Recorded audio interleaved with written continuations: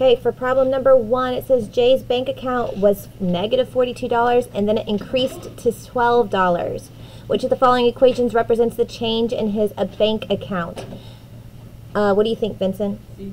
C. So starting at negative 42, then it increased until it got to $12. So when it says it increased to, it doesn't say it increased by. So a lot of people would probably think, oh, I'm going to take my bank account and add 12 to it. But it says it increased up to $12, not by $12. So it means you're starting at negative 42, you're increasing it until you get to $12. So that's going to be answer choice C. Answer choice C. Okay, problem number two, we're going to solve. We've got 18.3 is equal to x minus 4. Who can remind us what do we have to do in order to be able to solve this? What do we have to do? You guys just took a test on this. Come on, guys. What do you need to do? Oh. add. What are we going to add to both sides? 4. We're going to add 4 because we're going to identify that constant. That constant is at minus 4, so instead we're going to add 4 to both sides. Those 4s are going to cancel out and we're going to get that x is going to be equal to 22.3. x is equal to 22.3. For problem number 3, we have negative 6x is equal to 5. What do we do to solve? Divide. And what are we going to divide both sides by? Negative 6. We're going to divide by negative 6 on this side, which will cancel these out, and we'll divide by negative 6 on this side. Now, there's two ways that we could represent our answer. We could represent it as a fraction, negative 5 over 6, or we could represent it as a decimal, negative 0 point, I think it's like 83 repeated. Okay, either one of those would be acceptable answers, but you need to know how to write them as both formats, either as a fraction or as a decimal. Okay, number four, triangle has angle measures of 6x minus 3, 2x, and 4x plus 1. We want the sum of the angles. What does it mean by sum? When we say we're taking the sum of the angles, what operation is sum? Eileen? Addition. That means that we're going to add.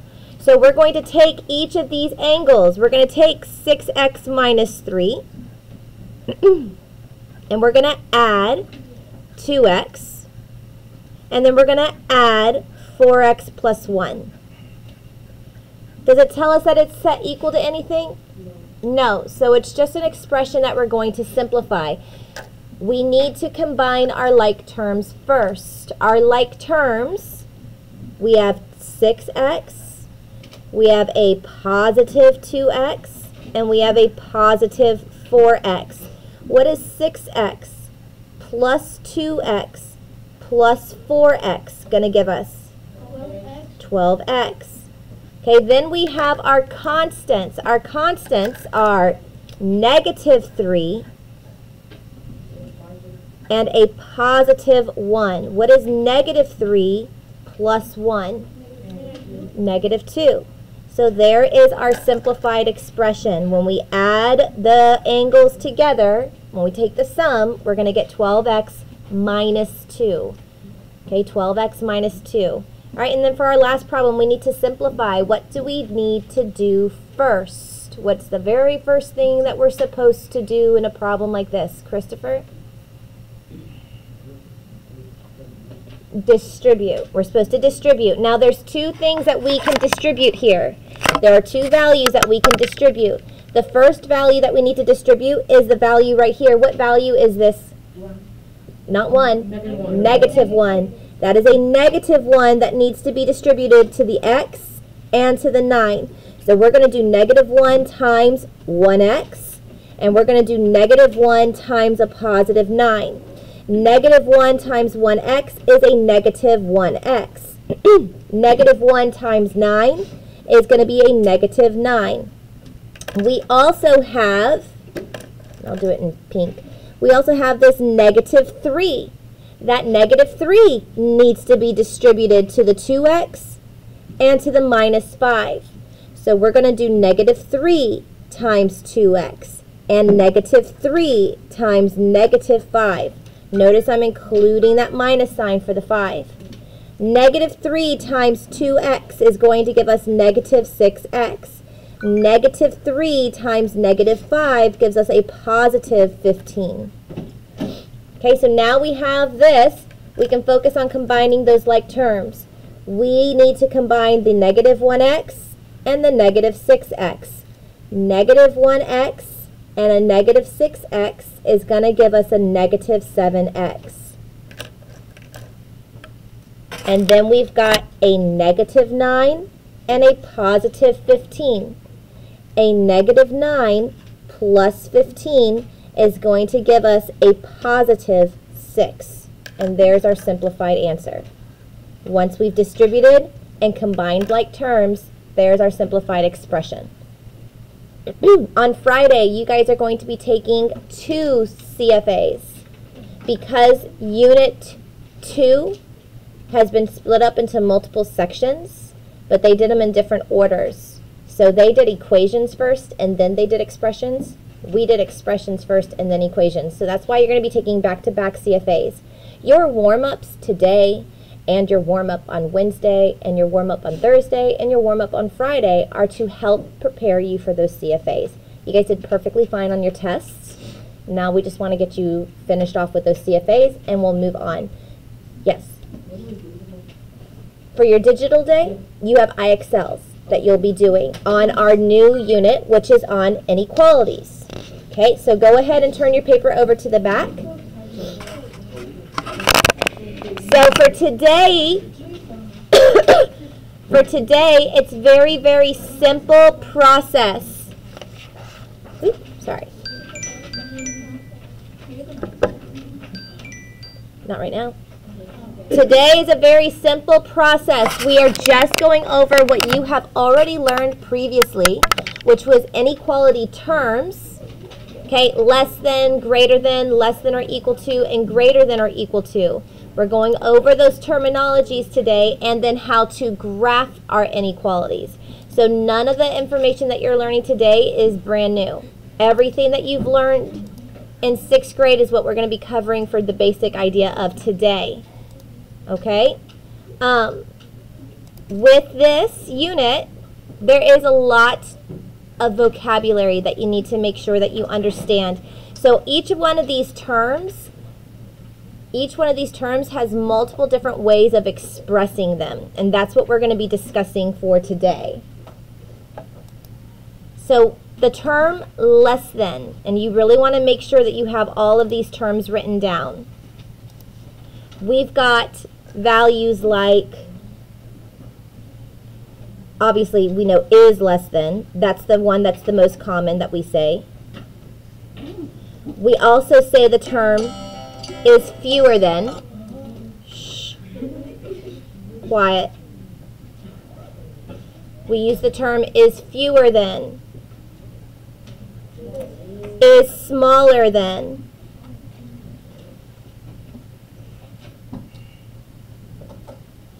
Is under. And is below. These are terms that we commonly use when we are express, expressing the term less than. Okay, when we use the term greater than, obviously we use is greater than. so x is greater than a value. Um, is more than. So think opposite of what fewer than. Fewer than, more than. What's the opposite of smaller? Bigger. Bigger. So it is bigger than. Over. What's the opposite of under? Over, right? Above. Thank you. Okay. Is over. Is above. We also have another term, an extra term, that it exceeds.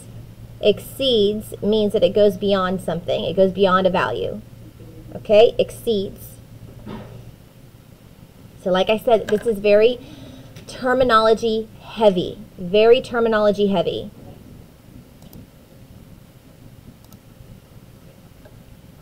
Okay, when we talk about less than or equal to, the terms for less than or equal to.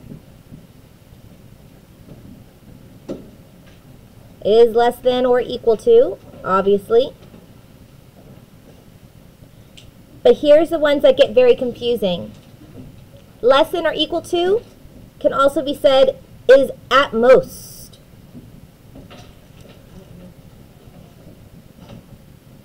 So think about it when you guys go on an elevator. How many of you have ever been on an elevator? Okay, on the elevator, it has a weight limit. At most 600 pounds on this elevator. Or at most, you know, two tons on this tractor. You know, they have weight limits. At most means that that's the most you can put on there. You can't go above it. You can go equal to it, but you can't go above it. So that's why it's less than or equal to. At most means less than or equal to. It's the most that it can possibly be. You also have the term is no more than. So obviously if it is no more than, then it has to be the opposite, which is less than. But it could also be an equal.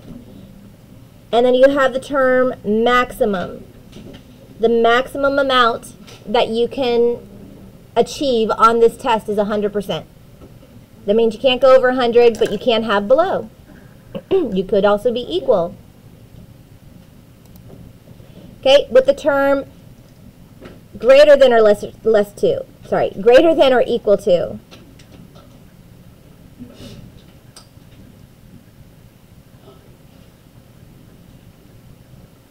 Is greater than or equal to. We have the term is at least. You must be at least this height in order to be able to ride the rides. So when you go to the fair, they always have that height limit.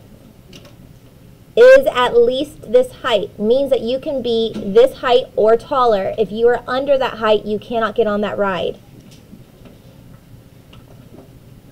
Is no less than. If it's no less than, then it means it has to be equal to or greater. And then the term minimum.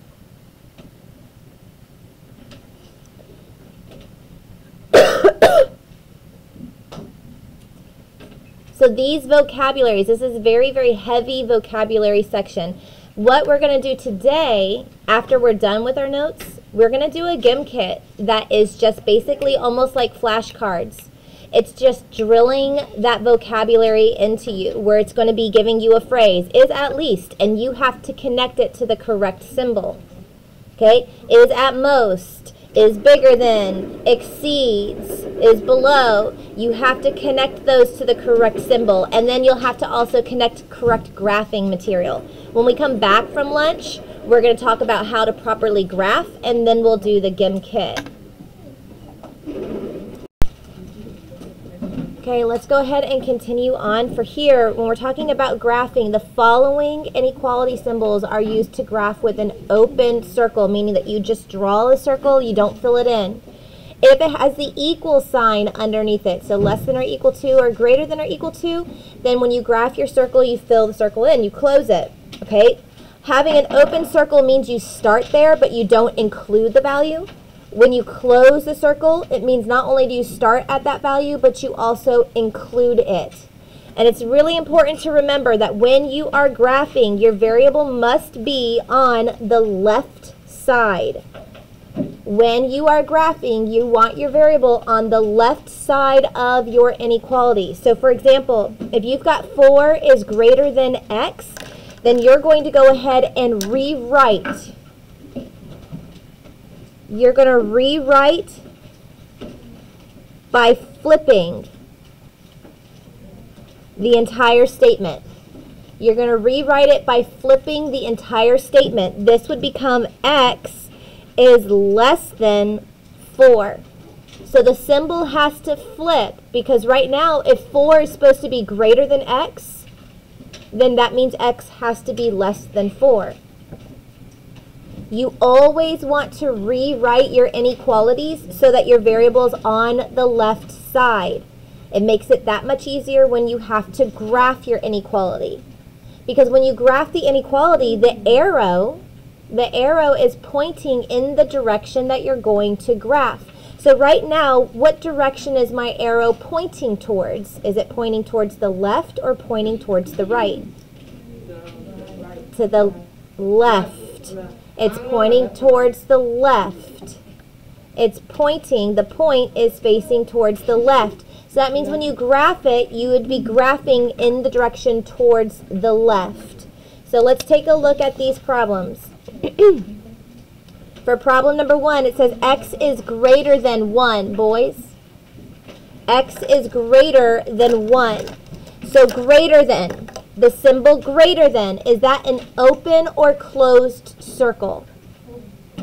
Open, right? If we look back at our statements, less than and greater than, no equal signs underneath it, those are going to be open circles. Those are going to be open circles. Where's your key? Where's your key? Then give me the phone, I'll lock it up for you. Okay, this is going to be an open circle. So starting at the value 1, you're going to draw an open circle. Now, is it going to go to the left, which is over here, or are we going to go to the right, which is over here? To the right. The arrow is pointing to the right. It's an open circle and it's going to be graphed to the right. So starting at 1, you put an open circle and then you draw your graph going in the direction towards the right. For problem number 2, problem number 2, we have to rewrite it. We have to rewrite it because the x is not on the left side. So we're going to rewrite the entire statement. So instead of negative 2 is greater than or equal to x, we're going to put the x on the left side. We're going to put the negative 2 on the right side. And the inequality is going to flip. It's going to become less than or equal to. less than or equal to. Now, the symbol less than or equal to, is it an open or closed circle? Closed. If it has that extra line underneath the symbol, then that means you're going to fill your circle in. That is a closed circle. So starting at negative 2, we're going to draw a circle and we're going to close it, fill it in. Now, the arrow, is the arrow pointing to the left or to the right? To the left. This is the left side, so we're going to draw our arrow going to the left.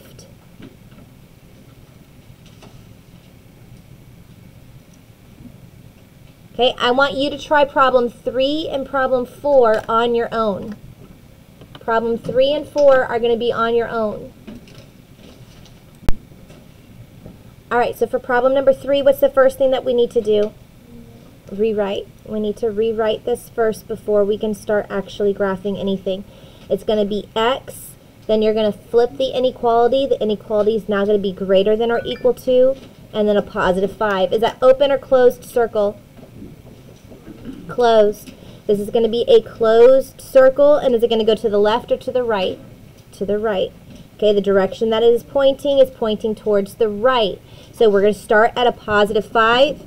We're going to close or fill in the circle, and then we're going to draw our line going towards the right. Okay, what this means is that every value starting at 5 and up is a possible solution to this inequality. Okay, 5 is greater than or equal to 5. 6 is greater than or equal to 5. 7 is greater than or equal to 5.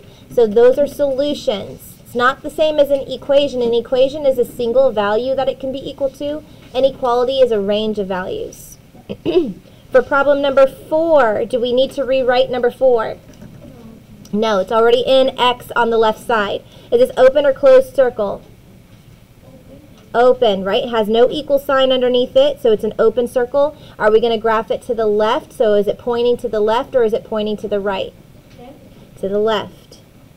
Okay, it's pointing to the left. So starting at 4.5, okay, 4.5, which is halfway between 4 and 5.